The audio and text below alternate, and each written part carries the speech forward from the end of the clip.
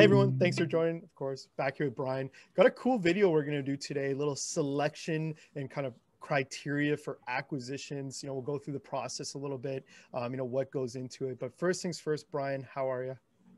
Doing well. Thanks for having us back. We appreciate yeah, it. Awesome, awesome. Well, I see you got an exciting background this time around, so I'm uh, happy to see it. But uh, here, I guess uh, I'll throw it to you. Um, but yeah, walk walk me through kind of the acquisition or you know selection criteria. Number one, and maybe start off with what you guys kind of look for as a general, and then we'll go through can be a hypothetical examples or or sure. you know one you guys have made. Sure. No, it, it's it's a great question, and, and it's a really important part of who we are as an organization, Jason. So, when we think about the hydrogen value proposition, we look at the whole chain, and we really think there's multiple parts to the the hydrogen value chain. Um, each part needs to have its own selection criteria. So, our boiler fits in what we call the application marketplace. How will people use hydrogen? Right? Hydrogen for hydrogen's sake is nice, but it actually has to have a business tied to it. And what makes the boiler so so relevant and sort of is a defining piece of our selection criteria is the addressable market, right? So how big is the market for this use? And when you think about steam, just because it doesn't have the same daily visibility that mobility has, doesn't mean it's any less of a market, right? So the commercial industrial steam market is a $30 billion market. It's just one we don't see every day. So when we start our criteria to select any tech, it's always about the market. Is there a business case and is there an addressable market in need of a solution that brings a greener, a more energy efficient solution to that world?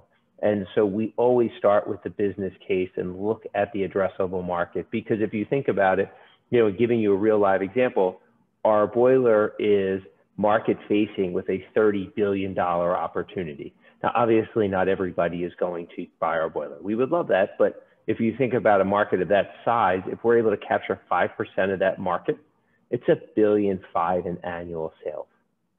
Right? A billion five in annual sales just at 5% of the market and then you have all of the recurring revenue pieces. So the, if the addressable market is there, then the next piece that we look at is how is the revenue stream generated from this particular technology.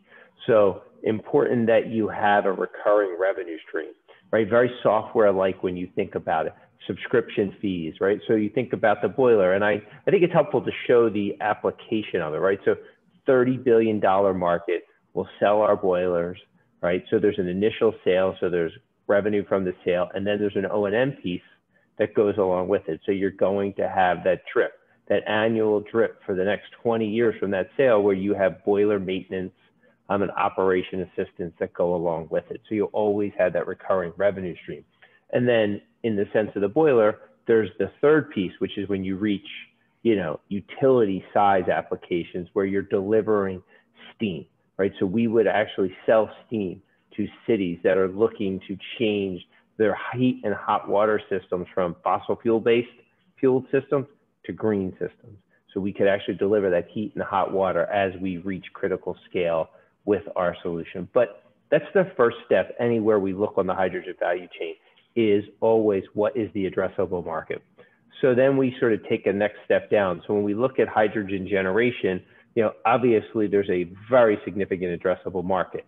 Um, hydrogen generation expands beyond all of the industries and all of the applications because it's the key piece to it, right?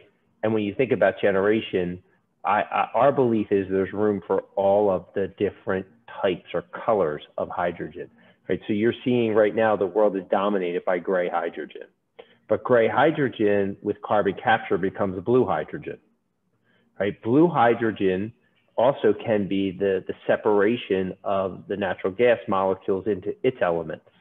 And then, of course, capturing that carbon as well.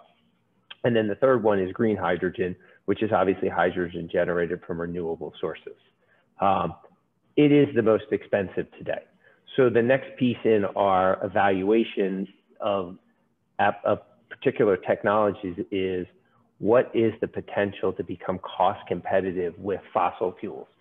You know, is it in two years, five years, 10 years, 20 years? Because it's critical to understand what is the value proposition, not just from a green perspective, but from in a cost and an energy perspective. So you want to deliver things that are cost effective in delivering the energy or the resources that are needed. So we always look at what is the cost structure of the particular technology. Um, assuming that it has a path to being cost competitive, then the question becomes, is the technology unique enough? Is it different enough, right? That it has a sustainable foothold on an opportunity set, you know, so that you have a path where you can build market share that you can defend. Um, you know, you want to make sure that the patents are right, right? So we have a, uh, you know, whether it be our patent counsel or our relationship with Cal Capella partners, all we think about is what's the patent? Is it patentable? Can we extend them? And are they defensible? Because there's a lot of different patent strategies out there and there's a lot of different ways to think about it. But the key is, is that being a smaller company, you want to make sure that what you have, you can defend.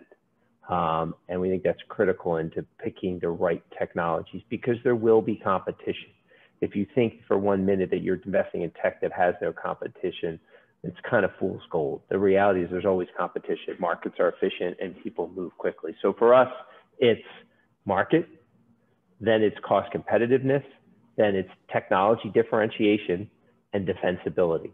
Do we have a technology that is defensible and that we will be able to sustain that over the, over the next five and 10 years.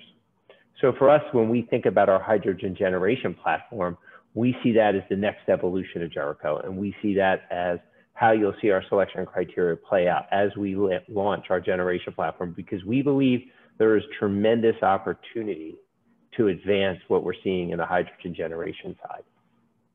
Yeah, look, uh, thank you. Kind of touched on a lot of great points for people who've never been through the acquisition process. You know, addressable market, how defendable is it? You know, really barriers to entry. Kind of touched on everything um, that if you got a business school, you'd uh, you at least have heard of, and this is the real real life application. So uh, thanks so much for that. Um, I've got a question for you, and this might be a great tidbit and, and a great kind of side video as well. And I'll ask it. You know, people say, and I would love to get your kind of answer from a Jericho standpoint. You know, people say, oh, like I'm used to hearing about green energy and green solutions, but they typically cost more and produce less. I'm curious on you know that old style of thinking where now you, are seeing green technologies that are even producing more and saving money but you know maybe in a mixed answer i know long-winded question would love to get your view on that um, and also kind of in contrast to where the world's going uh, you know cost of carbon is getting uh, more expensive governments are charging companies more and more and i would love to hear kind of your answer to at least the old style thinking that you know i just just quoted? Yeah, so I think that I think that there's a lot of different pieces to that, right? So the idea of being green is a very personal point. So what we've seen in the in the new green energy world is how people define green and what the box is they draw, we call it, right? So our boiler has zero emissions, but our boiler also works with any hydrogen source. So you can choose if you'd like your hydrogen from a gray source, a blue source, or green source. Right? So how green is your overall solution will depend on which one of those you pick. So if you think about the electric car market today, um, we think about those cars as being green, but they're really not very green, right? So your car doesn't have any emissions, just like our boiler doesn't have any emissions.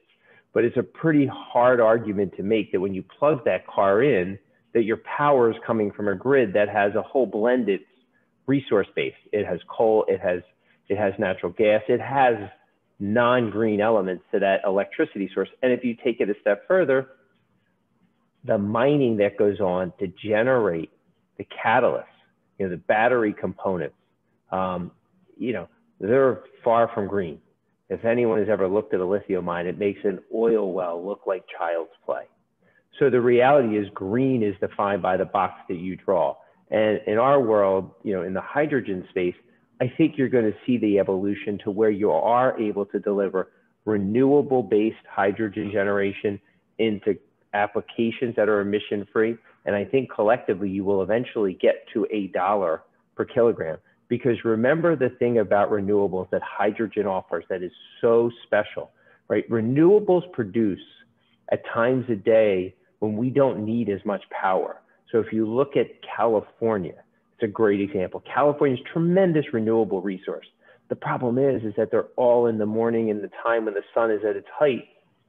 And demand is when the peak demand is 4 to 8 p.m. in the afternoon when the sun is setting, right? So imagine hydrogen, you take that green resource, use that when the energy is free, negative, they're paying you to use it to generate your hydrogen. You store it, and then you use fuel cells or a boiler like ours to deliver that energy back to the market during peak power when you don't have green resources. So that to me is the holy grail. It's called time shifting, right? The opportunity to use green energy and hydrogen to time shift. So the idea of green really comes down to how you define it, but, but you have to start somewhere. Right? At the end of the day, you have to start with point A. And I think that whether it's the application or the end use, starting there with a green application, a zero emission application is, is phenomenal, right? You've already you've already moved forward light years by taking away the emissions associated with the application. I mean, in our little world for our boilers, 35% of them out there are still coal. They still are coal-based boilers. Imagine if we just took those 35% and replaced them with ours, and they continue to use gray sources for hydrogen. You've taken all that coal, that coal emissions out of play. Uh, just a great starting point. So, you know, the idea of being green has lots of different levels, but you have to start somewhere. And to us, you know what? If you can deliver green applications, whether it be a boiler, an electric car, anything like that, it's a phenomenal place to start. Yeah, awesome. Look, uh, you crushed that. uh, honestly, thanks so much, Brian. Uh, incredible insights, and you know, kind of now taking us to the, the acquisition the acquisition side, you know, uh, fantastic. You know, Jericho's got some boiler, uh, you know, and not just some boiler, the boiler, and we'll talk about it in its own video coming up. Um, but back to acquisitions, you know, what what comes across your guys' desk? Uh, you know, give me some maybe examples of things you've seen, and just paint the picture for someone. And you don't have to say, hey, we chose this, but this is just something we looked at, and then we went through and we noticed this maybe wasn't an element, so we passed. And I would love, uh, you know, some people, uh, you know, asking questions about is there any examples examples Brian could share about things that have crossed his desk uh, would be pretty interesting. Yeah, so our, our, our, our inbox has grown in terms of things that we're seeing from, from a hydrogen um, application, generation, transportation, and storage perspective. So we are seeing things across the whole value chain. Um, I think for us, there are definitely a lot of really interesting novel technologies that we have passed on simply because we don't see the fit for our value add. So we are active um, investors. We are not passive investors. It's not our model, right? We believe our point of differentiation is the ability to help commercial ready technology get to the commercial market, get their customer base in place. Um, and so what we've seen is a lot of really good technologies that are just a little too early stage for us um, that we've not participated in simply because they're early stage, not because they're not really interesting technologies. And so, you know, what we spend our time with right now is looking at applications and particularly generation technologies that we think are ready for the commercial market. The thing that we find consistent in all the things that are commercial ready, they usually started somewhere around 2010 in developing it in the lab because you're dealing with material science. So there really are very, very few shortcuts, Jason, to getting those ready. There's a ton of trial and error, right? It is not surprising to us that each of the deals we look at that we like the most end up with a scenario where, well, we started this in 2005, we started this in 2010, we started this in 2008, because it takes that long to get material science. This is hard science, you know, to get it to commercial stage. Um, and a lot of times, you know, people come from a software background and they think about it, say, oh my God, they've been laboring at this for 10 years. That's crazy. Because software moves quicker, right? Software, software doesn't fall victim to the nine pregnant ladies theory, right? Because at the end of the day, the more engineers you put, a lot of times you can accelerate the software. Hydrogen does fall victim, right? So a woman can have a baby in nine months. Nine women can't have a baby in one month.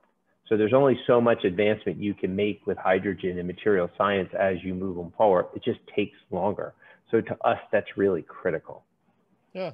Uh, thank you so much for the added information. I know a lot of people ask some great questions. You know, I really like this one. Obviously, happy that you're able to absolutely knock it out of the park. We'll do a deeper dive into more the tech, the boiler, um, and really the industry as we go forward. And a great time if anyone has questions, you know, that really are, I guess, applicable, but also about hydrogen. Please drop them below. Brian would love to cover a lot, and we'll do a Q and A video coming up.